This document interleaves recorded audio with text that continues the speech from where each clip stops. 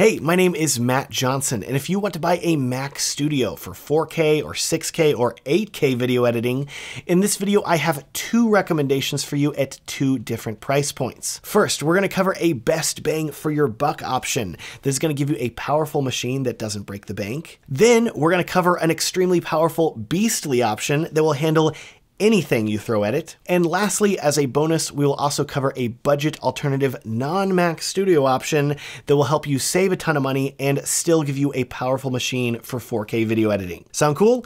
Okay, to save you time, I've linked in the video description down below to all three computers that I recommend because I respect your time like that. Let's get started now with the best bang for your buck option. I would say that this is the budget option, but considering that it's over $2,000, that amount of money and budget don't really go together. The best bang for your buck option is the base Mac Studio with the M1 Max 10 core CPU and 24 core GPU. The only upgrade I would make is to add one terabyte of SSD storage, which brings the total for this computer up to 2200 bucks. Also, if you have a bit more room in your budget, the upgrade to two terabytes of SSD storage is a good choice too, because these internal SSDs in the Mac Studio are just so much faster than any external SSD that you can buy today. Now, I'm sure you're probably wondering, why am I saying that this base model of the Mac Studio with a minor SSD upgrade is the best bang for your buck? Well, if you've watched my video editing MacBook buyer's guide video,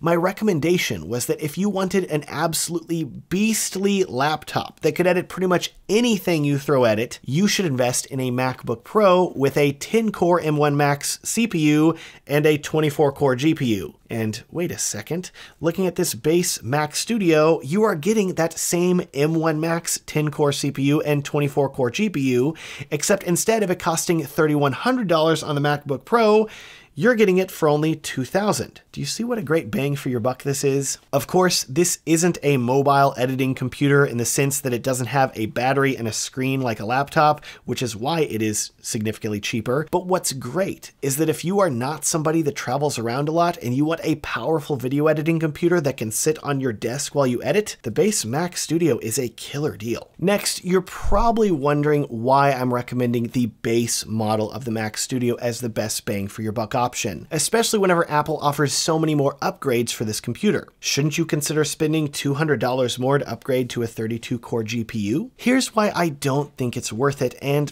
I don't want you to waste your money. With this base M1 Max Mac Studio model, you are already getting 95% of the performance that you need from the M1 Max chip. And that $200 GPU upgrade is going to be very negligible at best, because the base M1 Max chip already has two of the most important features that video editors are looking for. These two features are hardware encoders and decoders for the H.264, H.265, ProRes, and ProRes RAW video formats, meaning that this computer can play back and render the video files filmed by many cameras today significantly faster than anything from Intel or AMD. In addition, I would stick with 32 gigabytes of RAM as well, because this is unified memory that is shared between the CPU and GPU, and it is very well optimized, meaning that it is going to be significantly more efficient than regular memory that you may be used to, and even if you are a heavy multitasker, I don't think that you're going to see any major difference if you switch from 32 gigabytes to 64 gigs of memory. At this point, you have now spent $2,200, and you have a cute little cube that's going to sit on your desktop and edit videos very quickly, hopefully without destroying your wallet. But of course, we're not done yet. We have one more Mac Studio to talk about, and this Mac Studio is an absolute beast that's going to give you a crazy amount of power. So if you edit 6K, 8K, 12K, or RAW video, which to be clear, the cheaper M1 Max can handle, but if you're wanting your editing to be as fast as possible, or if you just want to future-proof the crap out of your investment, or you just have a huge budget, this final Mac Studio is the one that I would recommend for you. First, I know you may be thinking, building a Beast Mac Studio is easy, Matt. I just go down and I select the M1 Ultra with the 20 core CPU and 64 core GPU, add 128 gigabytes of RAM, throw in 8 terabytes of storage, and I'm dropping in a cool 8,000 bucks on an absolute monster of a machine. I wouldn't do that. And I think that's actually a waste of money. Instead, I want to recommend to you an option that is going to give you significantly more power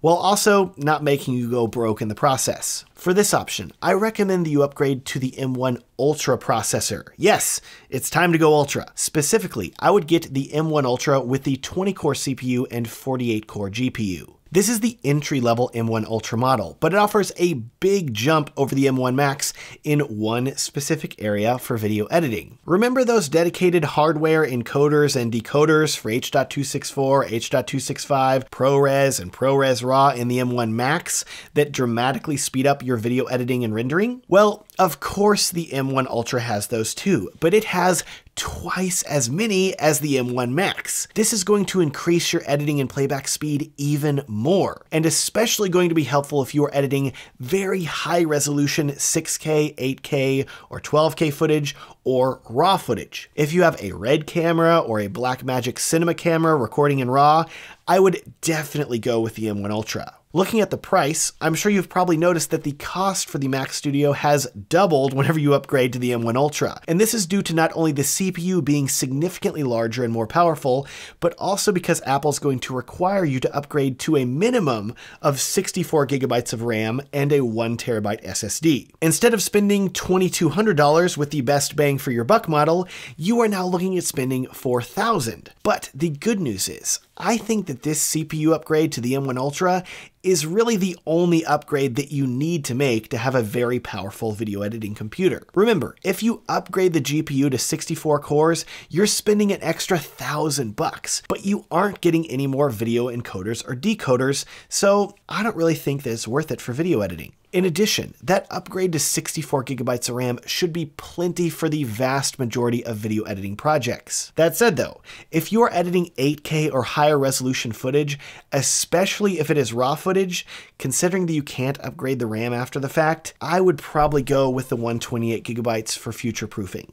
Lastly, you have the SSD space, and while I think that 1 terabyte is a good minimum, that $400 upgrade to 2 terabyte isn't looking as bad whenever you're already spending $4,000. So if you can afford that upgrade, I would go for it too. So there you have it. Get the M1 Ultra with the base 64 gigabytes of RAM and upgrade the SSD to 2 terabytes if you can swing it. That brings you to 4400 bucks, which is definitely an eye-watering amount of money. But if you consider how powerful the Mac Studio is for video editing, I think you're going to be really happy with your investment. Wrapping up this video now, we have one more computer to talk about because remember at the start, I said that I wanted to give you a budget alternative option to the Mac Studio, considering that even the base model comes in at 2000 bucks. So here's my final recommendation to you. If you are on a budget and you are wanting a significantly more affordable desktop computer for video editing, and especially if you are only editing 4K video that isn't in RAW, in that case, I would seriously consider the M1 Mac Mini. This is an even smaller computer that you can put on your desk, and more importantly,